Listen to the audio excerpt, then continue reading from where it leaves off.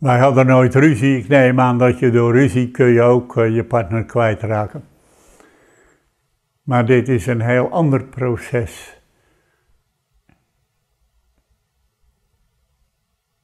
Ja, dat is toch dat stukje geestelijk contact wat je hebt, waardoor je gedachtenuitwisseling hebt.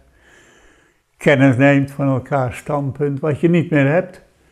En dat is een, uh, ja, een negatieve ervaring. Je gaat dingen missen aan elkaar. Gelukkig houd je andere dingen, houd je natuurlijk. Maar dit is het stuk wat je missen gaat, dat is het eerste wat zich voordoet.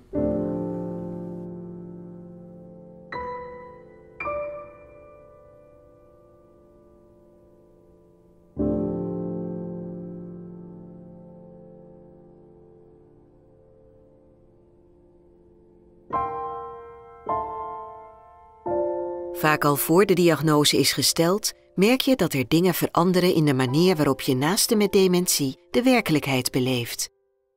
In eerste instantie dacht ik dat mijn moeder gewoon als 80-plusser wat vergeetachtig was geworden. Maar een broer van mij die, die zei uh, dat, ze, dat er iets meer aan de hand was. Dus uh, op een gegeven moment hebben we een test laten doen en daar was ik zelf bij aanwezig. En dat was heel confronterend om te zien dat je moeder uh, hele eenvoudige vragen niet meer weet. En um, ze was altijd heel erg goed in het verbloemen van haar vergeetachtigheid. En uh, ja, dat kon met zo'n testen kon ze daar eigenlijk niet meer omheen. Ze werd ook steeds uh, angstig. Hè? Uh, gewoon s'avonds als het donker wordt, dan wil ze wel eens een schilderij of een foto van haar kleinkinderen, wordt ze zelfs bang van, want die kijken haar aan. En dan zegt ze van, ze kijken naar me, ze kijken naar me. Dus Regelmatig word ik s'avonds even gebeld uh, en dan, ja, als ik dan met haar praat, dan wordt ze weer wat rustiger. Daar was dat hij op een gegeven moment uh, de video niet meer kon bedienen en de televisie niet meer aan kon zetten, bepaalde handelingen niet meer kon verrichten.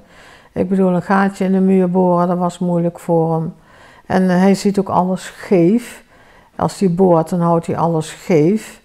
En als ik dan zeg, Henk het hangt hij ziet dat dat allemaal recht. En alles wat hij open maakt, hij niet meer dicht. Dus de wc trekt hij niet door, de kranen maakt hij niet door, het licht maakt hij niet uit. En zo zijn het allemaal van die dingen. Wie die vergeet in de, in de loop van de jaren, wat voorheen niet was. Ook je praat natuurlijk over de kinderen en de kleinkinderen. En als hij dan merkt dat ze de namen niet meer weet en soms ook niet meer weet waar ze wonen en wat ze doet, dan hou je te weinig gesprekstof over voor een communicatie. En dan moet je iedere keer moet je terugschakelen naar onderwerpen die ze dan nog wel weet. En je gaat ook praten over de dingen die je direct ziet. En dat verarmt het gesprek. En op die manier lever je eigenlijk in op je communicatie en ook op het beetje op het partner zijn ook. Hij haalde soms uh, wat dingen door elkaar, uh, de realiteit en uh, zijn belevingswereld. Zo had hij af en toe hallucinaties. En uh, hij zag dingen die er helemaal niet waren. Zo zag hij bijvoorbeeld uh, groepen mensen lopen. En dan zei hij, kijk eens, wat loopt daar allemaal? En toen zei, in het begin zei ik dan, nee, die zijn er niet. Daarna heb ik veel gelezen en op internet gezocht. En uh, daardoor daar ook ontdekte dat dat bij het ziektebeeld hoort. En dan ging ik toch ook met hem mee. Dan, uh, van, goh, wat zie je dan? En uh, ik ging dus mee in zijn belevingswereld.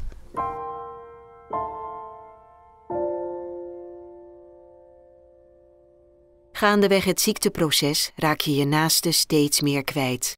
Iedere mantelzorger probeert voor zichzelf uit te zoeken hoe hiermee om te gaan. Ik ben ook geen deskundige daarin, dus ik heb het op, op mijn manier gedaan en gedacht dat ik het goed deed. Ja, dan blijkt dat ik het achteraf ook niet allemaal goed heb gedaan. Maar ja, als niemand jou dat zegt, dan, dan ga je ook maar door. Ik ben toch een leek op dat gebied wat dat betreft. Als hij iets verkeerds deed, of als ze iets niet meer wist, dan zei ik, weet je dat nou alweer niet meer? Of waarom ben je dat nou vergeten? Of als hij iets zei, uh, hoe kan je dat nou vergeten? Ik had het je toch gezegd. Of als hij uh, weer de wc niet doorgetrokken had. Dan, dan, ik maakte hem overal opmerkzaam. En dan werd ik boos om. En ik snapte me niet dat het maar niet tot hem doordrong, dat het anders moest. Totdat iemand mij er opmerkzaam op maakte. Wat heb je daar in de jaren ermee bereikt om het constant maar te herhalen? Ja, eigenlijk niks. Helemaal niks. Dus toen ben ik daarmee gestopt. En dan denk ik, nou ja, hij doet het nou eenmaal zo. Ik vond natuurlijk dat ik uh, me in zijn belevingswereld uh, moest, moest uh, verdiepen, maar ook meegaan in zijn belevingswereld. meestal was dat niet moeilijk omdat het allemaal herkenningspunten waren en liefdevolle gebeurtenissen die die benoemde. Maar het gebeurde ook wel dat er situaties waren waarin ik niet met hem mee kon gaan. Of omdat ik bijvoorbeeld een beetje boos was of uh, verdrietig om bepaalde situaties. Maar ik dacht toch wel altijd, uh, uh, het is zijn ziekte, de ziekte die hem zo gemaakt heeft. En probeerde dan toch hem af te leiden of zelf e even weg te lopen als me iets heel erg raakte.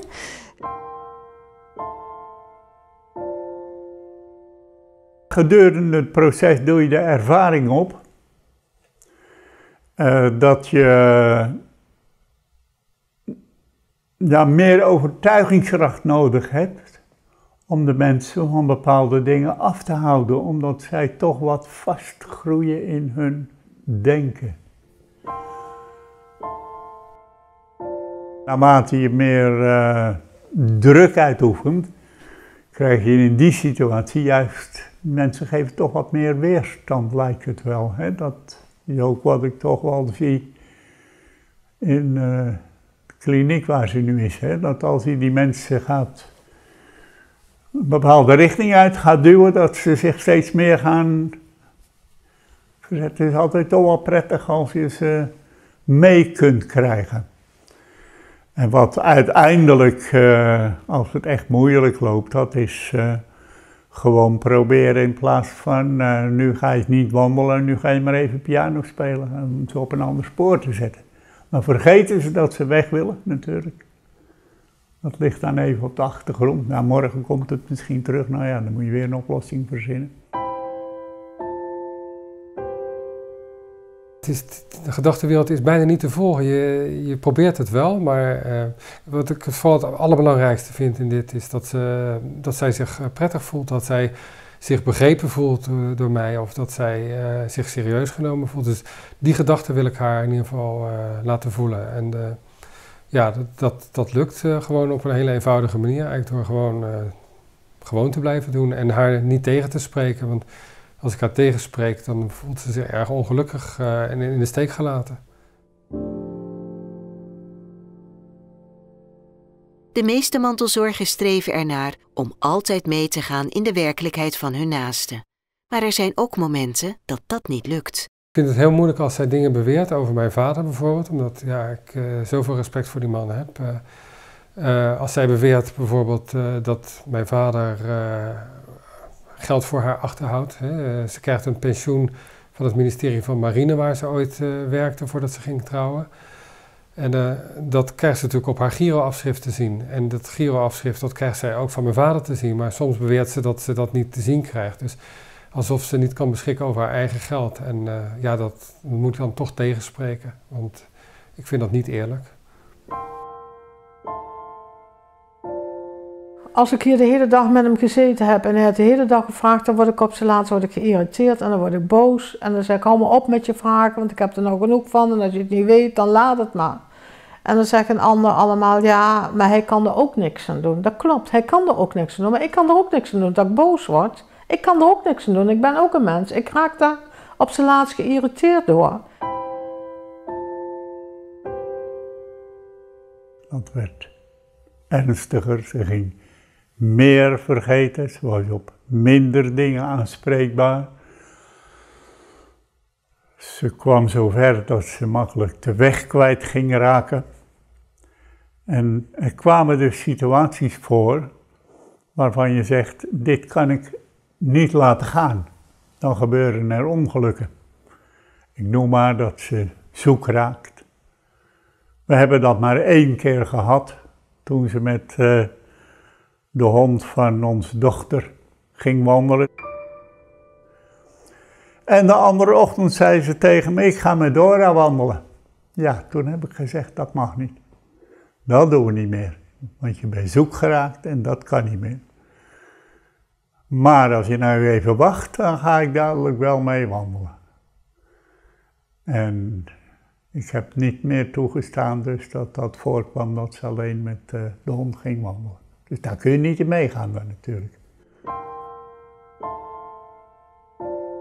Het is natuurlijk zo dat als je tegen je vrouw zegt van dat mag niet, dan komt dat mij een beetje cru over naar mezelf. Hè? Van je bent iemand de, de wet aan het voorschrijven. En dat uh, waren we helemaal niet gewend van elkaar. Dus dat roept bij mij weerstand op, maar het roept natuurlijk ook bij je partner weerstand op.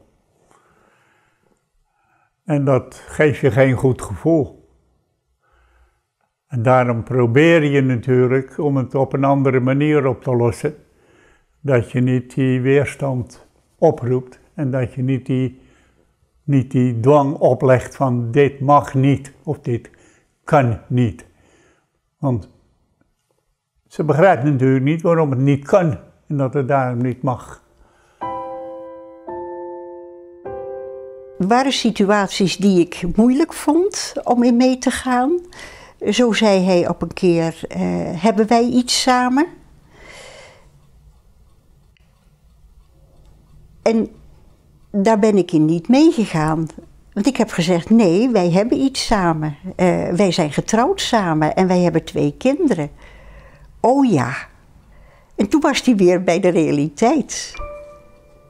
Het raakte ons uh, samen zijn, raakte het. En ik was hem daar even kwijt.